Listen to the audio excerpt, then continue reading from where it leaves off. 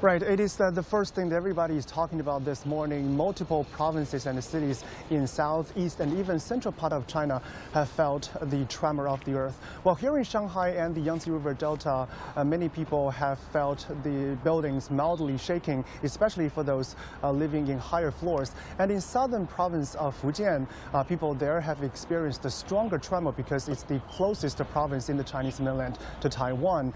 And uh, some early warning apps uh, said said that the tremor in coastal region of Fujian province is equal to a magnitude 4.0 earthquake. And because 8 o'clock in the morning is often a time for uh, students to go to school and to start their first class, so we've also seen local media reports that many schools have evacuated students to outdoor spaces. But luckily, uh, no deaths and injuries are reported from Fujian province so far. And the earthquakes also influencing part of uh, the Chinese mainland's uh, railway networks.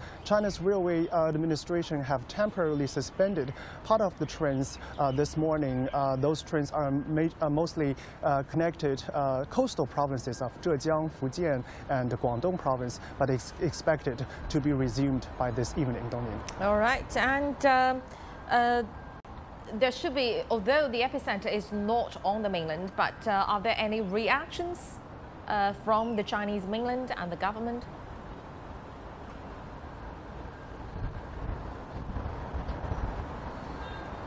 Right. You know, we often talking about the two sides of Taiwan Strait is uh, from the same family, and I think everyone in the Chinese mainland is deeply concerned of the situation in Taiwan. Right after the earthquake, uh, uh, we've seen people uh, leaving messages on social media platforms, hoping everything is all right there, and also the authorities also deeply concerned over the situation.